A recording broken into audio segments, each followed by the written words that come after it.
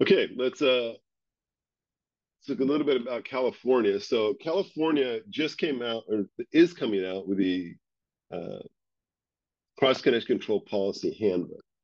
Right now, uh, cross connection control is governed by Title 17 of the California Administrative Code.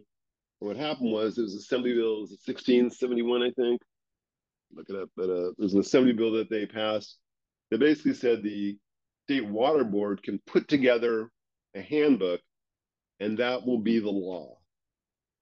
So they passed the law once saying this is going to be the law, and they made it easy to change that handbook, easier to change that handbook. They can't just make changes at random. They have to, you know, put out for comments to water agencies across the state and whatnot. But um, but it is easier to change. Um, so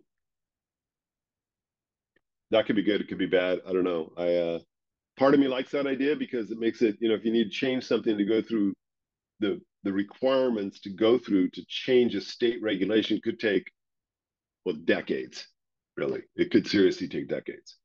So I don't like that idea, but um, I also don't like the idea of anyone just be able to change a handbook and all of a sudden it's law. But the nice thing is with this, it does say you have to actually get, you have to have like, you know, public meetings and put the information out there before you make any changes that so the the water board can't just go and say hey we're just going to change this now because we don't like it or it doesn't work that well or something. They have to go through a process that involves the public. So that's uh, that's good. And it it'll make it easier to you know to make any changes that you may want to uh, make in a cross connection control program. So uh, first of all, you must submit a written cross-connection control plan to the state water board. So they're requiring every water agency in the state uh, to submit a plan, a cross-connection control plan to the state. Okay, and I think we'll talk about that a little bit later as to when that's required and whatnot. Um, you have to conduct surveys or hazard assessments. Okay, so that's a requirement that is that is there now. You have to actually do a survey. Uh, I think Title 17 said something like that, that it was a, uh, yeah, you had to do a survey. But they're calling this a hazard assessment. I think this means more of a no. I think they give you some options of not necessarily being a physical survey. Uh, there has to be the provision of backflow protection. So if you come across something, you need to require backflow preventer.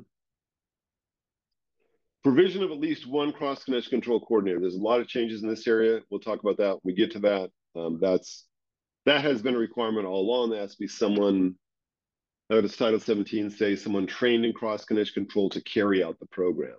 So that's what they say now, but uh, um, with the new regulations, you have to have the provision of one, at least one cross connection control coordinator. And we'll talk about that when we get to that. Uh, for testing, USC procedures are equivalent for field testing, and you have to maintain the records for three years. So those are some of the overall uh, generalities of the new requirement. So yeah, Assembly Bill 1761 basically is the bill that was passed that gave authority to the state water boards to create this handbook and gave the you know the authority of law to the handbook. So once that is published, then that basically becomes law, and that'll be um, again easier to change, uh, which can be good. So what happens is once it is actually adopted then 90 days later, Title 17 will be repealed. And so that will no longer be the law of the land, and it'll be the uh, the new California Cross Connection Control Policy Handbook. Uh, so again, public water systems must implement a cross connection control program. Um, and again, before adopting substantive changes to the handbook, the state water board will consult with state and local officials. Okay, so again, they can't just make changes, it's got to go out there and people have to comment on it and stuff. So there's there's other some sort of protections there.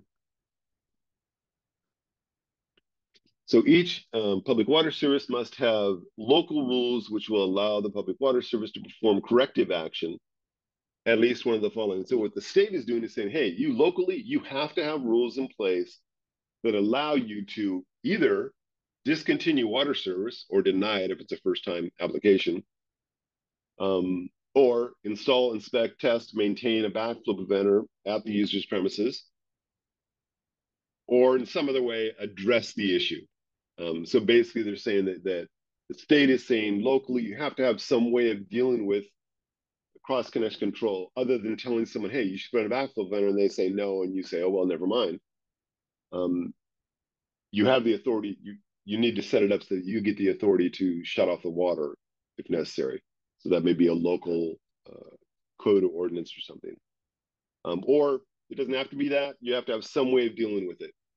So I know some areas say, okay, you put in a backflow venter, get it tested, send us the results, or we will do it and bill you for it. Or maybe some water agencies just just deal with it themselves and don't bill the customer for it. Their, their water is just more expensive as they deal with it that way. Um, but you have to have some sort of a way, some sort of local code or ordinance that, that gives you the authority to shut off the water if someone doesn't comply, or to put in a backflow venter if someone doesn't comply, or or something. That's some other manner. Um, I don't know what that could be, but um, some way of ensuring the customers do comply.